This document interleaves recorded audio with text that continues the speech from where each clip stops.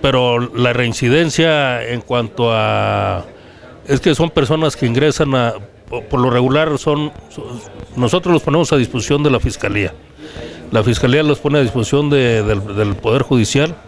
El Poder Judicial les inicia un proceso.